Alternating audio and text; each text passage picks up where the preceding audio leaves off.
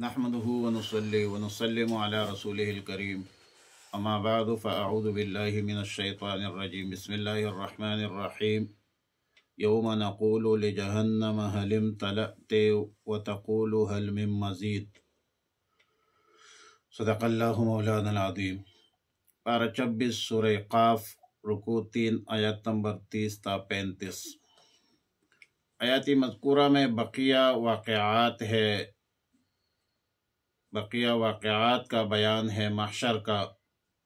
تذکیر بما بعد الموت کے اساس پر کہ ان لوگوں کو وہ دن دلائے، یاد دلائے کہ جس دن ہم دوزخ میں کفار کو داخل ہونے کے بعد دوزخ سے کہیں گے کہ حلم تلقتے کیا تو بر گئی ہو؟ تو دوزخ کہے گی کہ حل میں مزید کچھ اور بھی ہے۔ جہنم سے یہ سوال یا جہنم سے یہ پوچھنا شاید کفار کو مزید ڈرانے کے لیے ہو اور زیادہ ڈرانے کے لیے ہو کہ دوزخ کا عذاب سن کر کہیں گے کہ ہم کیسے غضب کے ٹکانے پر پہنچے ہیں، جو سب کو کانا جان چاہتا ہے۔ اور سب کو کا رہے ہے اور مزید ڈیمانڈ بھی کر رہے ہے جہنم کی طرف سے حلم مزید کا جو جواب بھی غالباً اسی غیظ و غضب کا مظاہرہ ہے۔ اور سورہ ملک میں ہے وہی تفور و تقاد و تمیز و من الغیظ جہنم کی مزید فرمائش جو ہے، مطالبہ، یہ غضب اور غصہ غیظ کی بنیاد پر ہوگی۔ دوسری جگہ اللہ تعالیٰ نے فرمایا لَأَمْلَأَنَّ جَهَنَّمَ مِنَ الْجِنَّةِ وَالنَّاسِ اجمعین۔ اب جہنم کا بر جانے کا ذکر ہے۔ یعنی جہنم کو میں بر دوں گا جہنم کو جنات سے اور انسانوں سے۔ جہنم کو برنے کا ذکر ہے تو حل میں مزید سے یہ متعارض اور متصادم اور منافی نہیں ہے۔ کیونکہ اللہ تعالیٰ کا وعدہ سابقہ کہ لَأَمْلَأَنَّ جَهَنَّمَ جنات اور انسانوں کو جہنم میں ڈالنے کا ہے، ڈالے جائیں گے۔ اور جہنم یہی کہتا رہے گی کہ، کہتا رہے گا کہ حل میں مزید اور بھی مزید چاہیے۔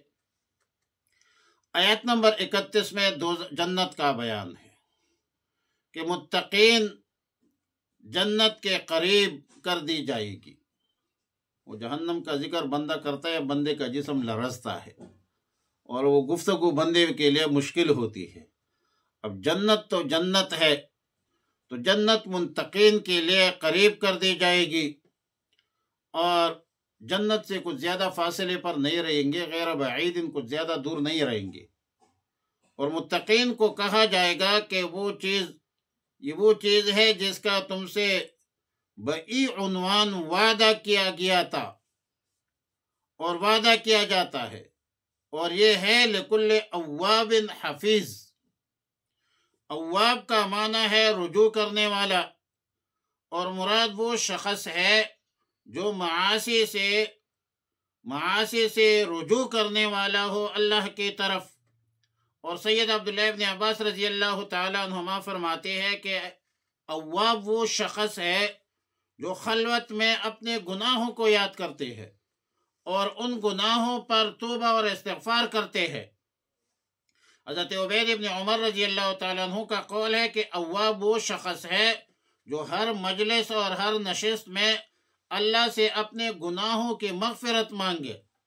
اور ہمیں یہ بتلایا گیا کہ اواب اور حفیظ وہ شخص ہے جو اپنے مجلس سے اٹھتے وقت یہ دعا پڑھے کہ اللہ یہ دعا دعا یہ ہے کہ اللہم انی استغفرک مما اصبت فی مجلس هذا وللہ الحمد وللہ الحمد اللہ پاک ذات اللہ پاک کی ذات پاک ہے اور اللہ ہی حمد اللہ ہی کے لیے حمد و ثنا ہے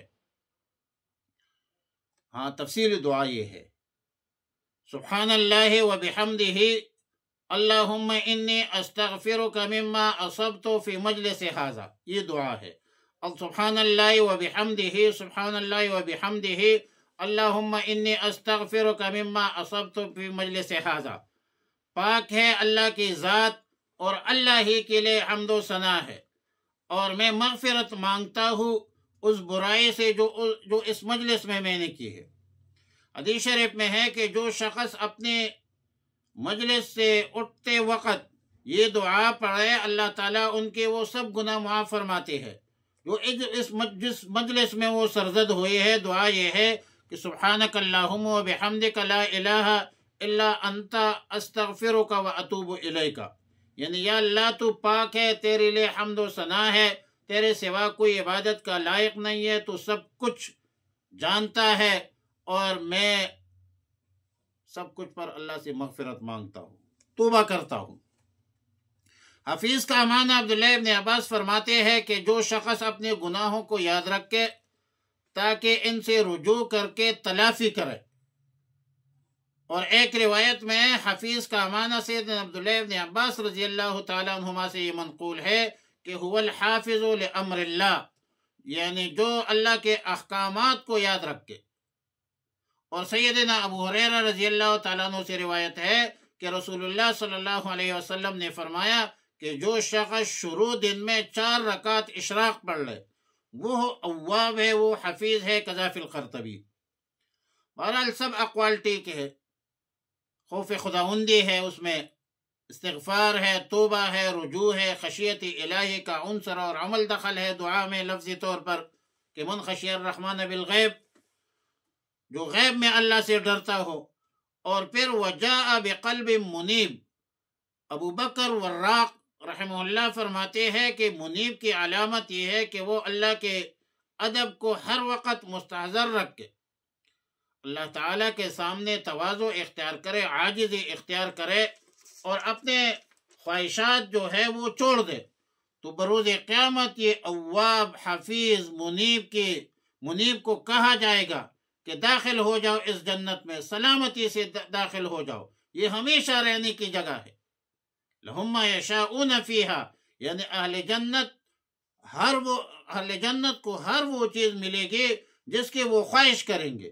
یہاں تک کہ سیدنا ابو سعید الخدری رضی اللہ تعالیٰ عنہ فرماتے ہیں کہ رسول اللہ صلی اللہ علیہ وسلم نے فرمایا کہ جنت میں کسی شخص کو اولاد کی خواہش ہوگی تو حمل وضع حمل، پھر بچے کا بڑھنا سب ایک ساتھ میں ہوگی۔ ولدینا مزید اور ہمارے پاس الہی نعمتیں اور بھی ہے اور اتنی نعمتیں ہیں، اتنی نعمتیں ہیں، جو انسان کے خواب و خاطر میں بھی، وہم و گمان میں بھی نہیں ہوتا۔ اور اللہ کی دیدار جو ہے، وہ بھی مقدر ہوگی۔ اور اللہ کی زیارت تو بڑی بات ہے۔ یوم نقول لجہنم، جس دن ہم کہیں گے لجہنم، جہنم سے حلم تلعتی کیا تو بھر گئی ہو و تقول اور کہے گی، حل میں مزید کیا کچھ مزید ہے؟ وہ عزل فتل جنت اور قریب کر دی جائے گی جنت کو للمتقین پرہزگاروں کو پرہزگاروں کے لیے غیر بعید وہ دور نہیں ہوگی ہاضا ما توعدون، یہی ہے جو تم سے وعدہ کیا جاتا تھا۔ لکل اواب، ہر رجوع کرنے والے کے لیے، حفیظ حفاظت کرنے والے کے لیے۔ من خشی الرحمانہ جو ڈرتا ہے الرحمن سے بالغیبی دیکھے بغیر، غیب میں۔ وجا اور آیا بقلب سلیم، دل کے ساتھ رجوع کرنے والا ادخلوها تم داخل ہو جاؤ اس میں بسلام، سلامتی سے، ذالک یوم الخلود۔ یہی ہے دن ہمیشہ رہنے کا، لہم ان کو ملے گا ما یشاؤون جو کچھ وہ چاہیں گے فیہا اس میں۔ ولدینا مزید اور ہمارے پاس تو اور بھی زیادہ ہے، اور بھی اللہ کی انعامات اور احسانات ہے۔ اللهم ربنا تقبل منا إنك أنت السميع العليم وتب علينا يا مولانا إنك أنت التواب الرحيم. اللهم وفقنا لما تحب وترضى. استغفر الله ربي من كل ذنب وأتوب إليه. وصلى الله تعالى على خير خلق محمد وآله وصحبه أجمعين.